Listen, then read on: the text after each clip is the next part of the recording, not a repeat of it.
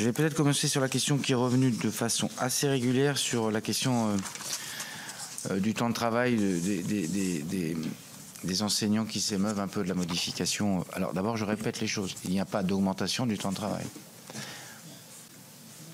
Enfin, c'est un fait, comme disait, l'autre. Euh, et les faits sont têtus.